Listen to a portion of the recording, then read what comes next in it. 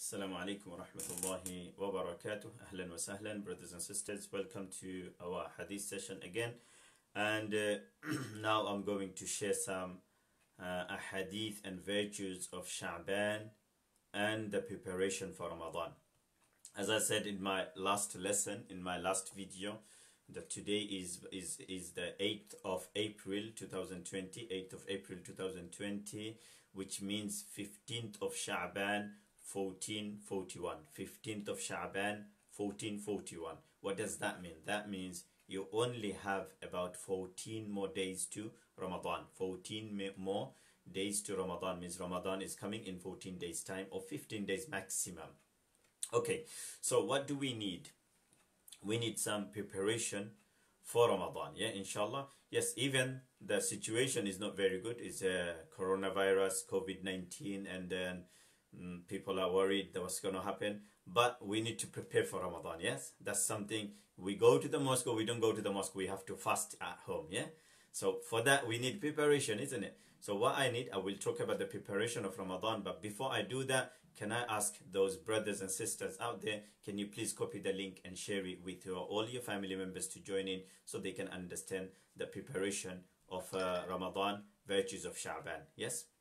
Jazakumullah khairan. So share the link to everyone, share, share the link with everyone, inshallah. Jazakumullah khairan. And one more thing I want to tell you before I start that uh, follow my YouTube channel. You will find my uh, on my page. You will find my YouTube link. Follow my YouTube channel. Subscribe to my YouTube channel for more of my videos and more sessions, inshallah. And you can write on the comment box as well what your next video should be. Yes, based on your comment, based on your topic. I can make videos as well. So just write the topics in the comment box, inshallah. Say, Sheikh, make a video on this topic. Okay, inshallah. Jazakumullah, I'll do that. okay, so, Bismillah ar-Rahman Rahim, walhamdulillah, wassalatu wassalamu ala rasulillah, amma ba'd. Here, we come with Sha'ban, as I said. So let's start with the to talk with the Sha'ban, about Sha'ban. Sha'ban is the month which comes before Ramadan and before that Rajab comes in the hadith it says that Rasulullah sallallahu wasallam used to start preparation for Ramadan from the month of Rajab as soon as Rajab used to come, he used to start talking about Ramadan, he used to start fasting, he used to start increasing the ibadat. That is the part of preparation. What do you mean by preparation for Ramadan? It's to increase your ibadat, it's to increase uh, your closeness to Allah. Yeah, your closeness to Allah. So you take yourself more closer to Allah subhanahu wa ta'ala. So as Rajab is gone already, yes, and Sha'ban, the 15 days of Sha'ban has gone already as well. So what do we do now? Now we prepare ourselves for Ramadan. So Rasulullah sallallahu alaihi wasallam used to fast a lot. What did he? What did he used to do? He used to fast a lot in the month of Ramadan. In the hadith, authentic hadith, it says that Rasulullah sallallahu wasallam used to fast so much that people used to start saying that he's not going to stop fasting. People used to say he's not stopping fasting. Means it's like ongoing, constantly fasting. Whenever you're asking, whenever you're seeing Prophet ﷺ in the mosque, he's, he's fasting. So in the month of Sha'ban, he used to fast a lot. Yes, illa qalil. In the hadith of Aisha radiallahu ta'ala anha, he says, illa qalil. Except last few days. He never used to fast on the last few days. So in Sha'ban, as we are still in Sha'ban and we have still 14 more days, I want to tell you, increase your fasting. Okay? Yes, you're staying at home doing nothing, no job, no work. Yes, because of coronavirus, you're not going out. So increase your fastings. Okay, what will that do? That will make your immune system strong. Yes, if there is anything wrong in the body, that will remove the wrong things from the body. So fasting actually helps you to be stronger. Yeah, fasting helps you to be stronger. Dates, you will have dates in the evening. Khazur. Yeah, tamar. Tamar is makes you stronger as well. Yes, you will have lots of water. Water will clear up anything wrong in the body. Yes, so these days I will say the best advice that I can give to someone, I will say fast. You will get the reward of Sunnah, you will get a healthy life, and your body will be prepared for Ramadan. Your body will be ready for Ramadan, as Ramadan coming after 14 days, as I said. So prepare yourself for Ramadan by fasting a lot. That's number one. Number two, by praying a lot increase your prayers. Okay? Pray your before if you were praying faraid only, then I will say increase your sunnat. And if you were praying sunnat, fard and sunnat anyway, then increase some nafal. Okay? Pray some extra prayers before the salah. Pray some extra prayers after the salah. Okay? Yes, I know there are mosques are closed, but pray at home. Pray with the jama'at, with your family and children. Yeah, with everyone. Increase your prayers. So first I said increase start fasting. If you're not if you if you if you're if you're not fasting, then start fasting. If you're fasting, then increase your fasting. If you're praying regularly properly, then increase it. If you're not praying, then start praying now. Yes, if you're not praying sunnah, then start praying sunnah now. If you're not praying nafal, start praying nafal now. Okay? Next, what you need to do, increase recitation of the Quran. Halaqa of the Quran, hadith, and other things. Okay, anything Islamic. Sit down in the, in the halaqa, read a aqidah book. Aqidah means belief. Talk about belief in Allah. What are those things we should believe and why we should believe. Talk, talk about these things to your children, to your family members, to your relatives. Next thing, after reciting Quran, you need to increase your dua, the level of dua. Yes, in the Sha'ban, month of Sha'ban, there is a night, the 15th night, du'as gets accepted. So make dua to Allah. The Ramadan coming up, make dua to Allah. Say to Allah, Allah, take me to Ramadan. Allah, keep me alive that I can reach Ramadan. Yes? Ask Allah, say to Allah, oh Allah, keep me alive so I can reach Ramadan. Yeah? Say to Allah, oh Allah, if, I, if I'm about to die, give me a few more days so I can die in Ramadan. Yes? So ask Allah for you to reach the Ramadan. Ramadan is the month of blessing, month of rahmah, month of forgiveness, yeah? month of kindness of Allah subhanahu wa ta'ala. So as Ramadan coming up, prepare yourself by fasting, by reading Quran, by doing good deeds, by making dua, and remember Allah subhanahu wa ta'ala's mercy is open to you. Allah wants to forgive you. Allah wants to show His kindness to you. Let me share a hadith. In the hadith it says, إن الله ليطلع في ليلة النصف من شعبان فيغفر لجميع خلقه إلا لمشرك أو مشاحن. Allah subhanahu wa ta'ala pays extra attention to the mankind on the 15th night of Sha'ban. On the 15th night of Sha'ban, it means mid-month of Sha'ban. And the night, Allah pays extra attention to the mankind. And then what? فَيَغْفِرُ لِجَمِيعِ خَلْقِهِ Allah subhanahu wa ta'ala forgives everyone. Allah forgives everyone. إِلَّا لِمُشْرِكٍ أَوْ مُشَاحِنٍ Except the mushrik who associates partners with, partners with Allah and mushahin who's got jealousy in his heart, who's got bad feeling for others. Allah doesn't forgive these two people. Other than that, Allah forgives everyone in the in the in the in the humanity. Yeah, Allah forgive all the people. Allah wants to forgive.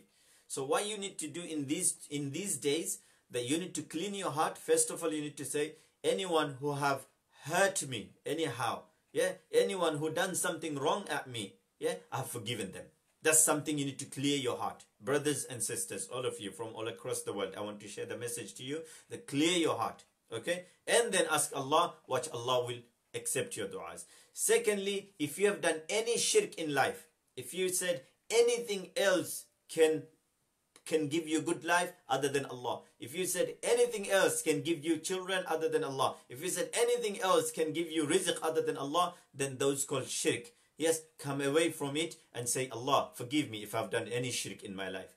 Yeah, you are only one who give me life. You are only one who give me death. You are only one who give me rizq. You are only one who give me izzah, respect. And you are only one who give me money, who give me children. Say to Allah and declare your belief to Allah again and say to Allah, Allah forgive me if I've done any shirk in my life. Yes, and then say to Allah, Allah forgive me and make me amongst your pious servants. Allah will forgive you as well. Yes, so if you have done any shirk, but you do tawbah, through tawbah it gets forgiven. If you have any jealousy, through tawbah it can be forgiven.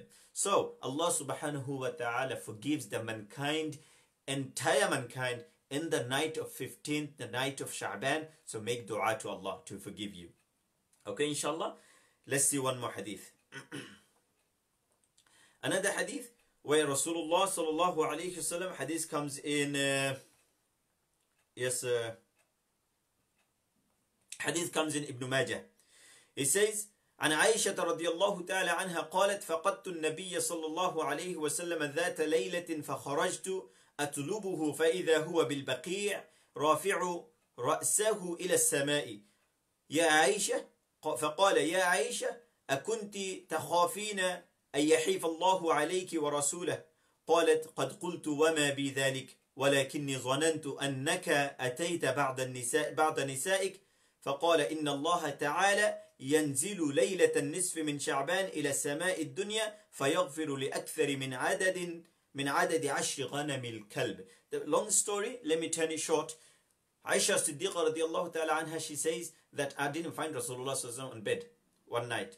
Then I followed him. I found him in Baqi'. And then when I found him Baqi', he sensed it, that I'm behind him. He said, Aisha, are you spying on me?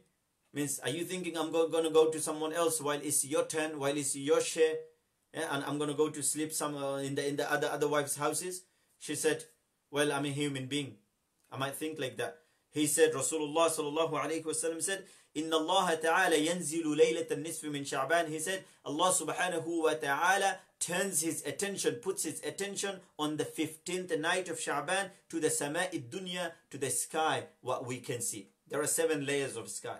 He pays his attention to the lowest sky, means he pays his attention to the dunya, to the earth.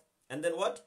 فيغفر لأكثر من عدد شعر غنم الكلب then he forgives people more than the hair on the body of a dog and body of the dogs of the people of Bani Kalb. So people of Bani Kalb, they used to have a lot of dogs. And now, whatever, how many hairs on their body? Who knows? Allah, Prophet ﷺ said, more than the hair, more than the amount of hairs on the body of the, those dogs, Allah forgives on that night. So what do you mean by that? The meaning of this, this hadith, is Allah forgives people. That's the brief, the moral of the hadith is that Allah forgives people on the mid Sha'ban. Why? Why Allah forgives people in the mid Sha'ban? Because in the welcoming of Ramadan, Allah shows His excitement. Allah shows His happiness. The blessed month is coming, the month of Quran, month of Allah, eh? month of believers, month of pious people is coming. And because of the excitement, Allah subhanahu wa ta'ala, to get everyone excited and get everyone ready, Allah forgives people. So they are pure and they are clean so they can prepare themselves for the Ramadan. Okay, so from this hadith we learned that in the month of Sha'ban we need to do a lot of good deeds. Okay, yes, we need to ask dua, but not just dua, prayers. If we're not praying, we need to pray. If we're not reciting, we need to recite Quran. If we're not fasting, we need to fast some of the days. Okay, in another hadith, where Rasulullah sallallahu alayhi wasallam says, إذا كان ليلة النصف من شعبان فقوموا ليلها. okay, so uh, okay, that's fine. Uh, Rasulullah sallallahu alayhi wasallam, uh, he says that whenever the night of Sha'ban comes, then do some ibadah. Okay, that hadith has been uh, uh, marked as a as a, an authentic hadith so we will stay away from it but the, in terms of praying at night what i want to say that uh, don't just pray at night on the 15th of Sha'ban alone pray at night every day pray tahajjud every day rasulullah used to pray tahajjud every day rasulullah used to fast on every monday and thursday okay so because of Sha'ban you can fast almost every day but if you want to stick to original sunnah of the whole year, then stick to Mondays and Thursdays. Okay, inshallah. And pray tahajjud at night and ask Allah to forgive you, inshallah.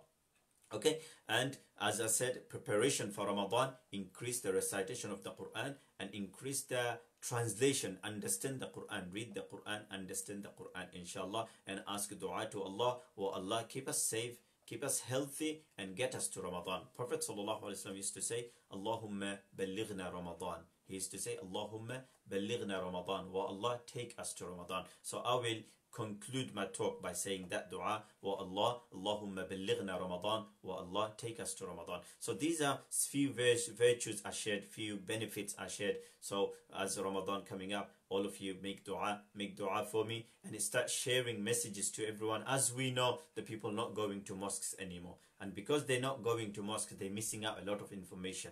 They're missing out a lot of messages a lot of important things and to be honest i would say many people they're missing out the the, the, the, the blessings and beauty of the community gathering and community praying together. And because of that, a lot of uh, the you know awareness when you go to the mosque, people talks. It's it's month of Sha'ban, only these many days left, and that actually gives them a boost. They want to prepare themselves, and that's they missing out. So what I want you, to, I want to tell all of you to share these videos to everyone, so that's actually boosts them and gives them a reminder about Ramadan.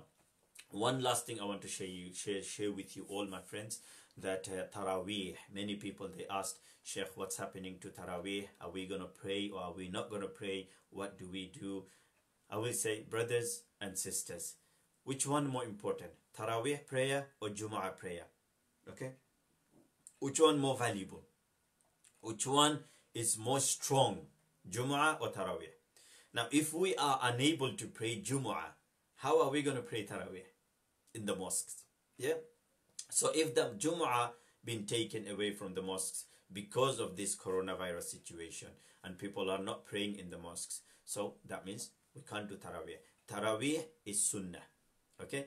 Jumu'ah is wajib or fard. Okay? So if it's fard or wajib got taken away from the mosque, no one can think about Sunnah. Sunnah is something very, very uh, last after the fard and wajib gets done. Then you think about the Sunnah. So what I will say, don't worry about praying Taraweeh in the masjid, but there is other alternatives. What are those alternatives? That you can pray Taraweeh at home. Okay? You can do your own Jama'ah. Okay? And I will say this is a a an, an wonderful opportunity to the pair for the parents, those whose children are hafiz or hafiz of the few juz. Yes, let's say, let me give you uh, an example. Let's say if your son is hafiz of five paras, yeah, you tell him to lead Taraweeh with these five paras whole month.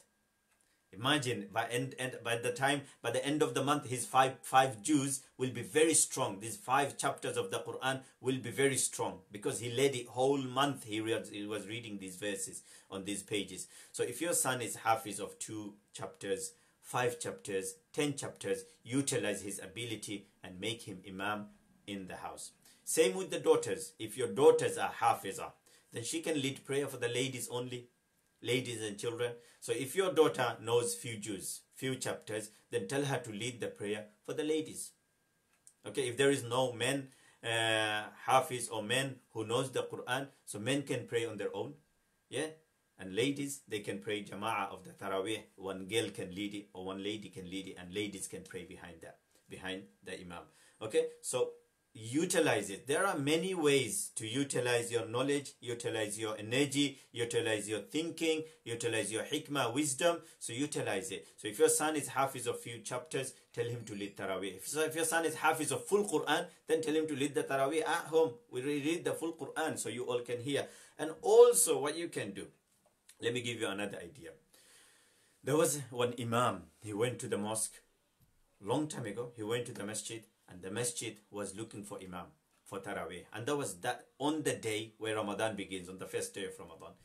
They were talking, they were looking for a hafiz, and eventually the word came to the imam. They don't know that this person is imam. He's just praying, he's just a, a stranger.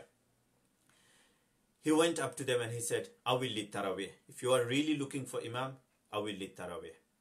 They said, How? You look like a normal man. He said, But I can learn the Quran and lead the Taraweeh.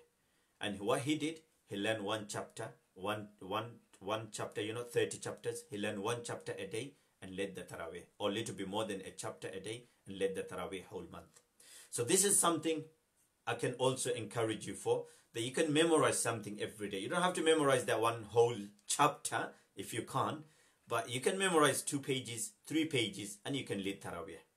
If you are five of you in the family, let's say four sons and father, yes, tell all of them to memorize two pages. You memorize two pages as well. So five people memorizing 10 pages, 10 pages are enough to lead 20 rakat. Okay? Read half a page in each rakat. Do you see? Solutions are there. So this will encourage you to memorize the Quran. This will give you opportunity to memorize the Quran. This will give you a chance to memorize the Quran. Do you see?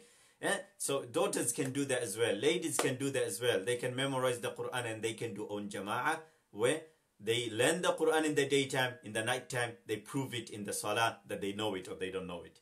Okay, inshallah. So there are opportunities. Utilize those, inshallah. Memorize Quran And if there is no children at home, only father, then I will say you memorize something every day and lead Taraweeh. Okay, inshallah. There is another way. Yes, in uh, third world countries, for example, Bangladesh, India, Pakistan, what they do, where there is no imam who knows the entire Quran, what they do, they call Surah Taraweeh. Yeah, they call it Surah Taraweeh, means they read surahs only. So in the first rakat, he will read Alam Tara Kaifa. In the second rakat, he will read Surah Quraysh. In the third rakat, he will read Surah Tul Ma'un, means Ara'ayt al In the third rakat, and in the fourth rakat, he will read Surah Tul Kawthar. All the way he's going to go to Surah Tul Nas. It's 10 rakat. Alam Surah Alam Tara Kaifa, Surah Tul Fil to Surah Tul Nas is the 10 rakat, 10 surahs. And then on the 11th rakat, he starts again from Surah Tul Fil, Alam Tara Kaifa. Yeah, 12 rakat, Surah Al Quraysh, Li Ilafi Quraysh. 13th rakat in uh, Surah Al-Ma'un, and then he goes on. So there are many ways. That's one way I showed you what in the third world countries they do. There are other other way that let's say you know a small portion of the Quran from throughout the Quran. You can read those portions. You can revise those and read those small portions, and you can lead Taraweeh. Okay, so don't be hopeless. Taraweeh is not gone. Taraweeh is still there and is giving you more opportunity to read the Quran and practice the Quran more. So utilize those opportunities, learn Quran, practice it, pray Taraweeh at home inshallah, and this will give the opportunity to pray everyone together. Yes, for the first time in life, that everyone, mother, father, children, parents, everyone will pray together. May Allah subhanahu wa ta'ala accept our Jumu'ahs, accept our Taraweeh, accept our recitation, accept our Sha'ban's fasting, and may Allah give us the blessings of the fastings of the month of Ramadan. Jazakumullah khairan. Wassalamu alaikum wa rahmatullahi wa barakatuh. Don't forget to share my video to everyone, and don't forget to encourage everyone to subscribe to my YouTube channel where they will find a lot more videos of my lessons. Assalamu alaikum again.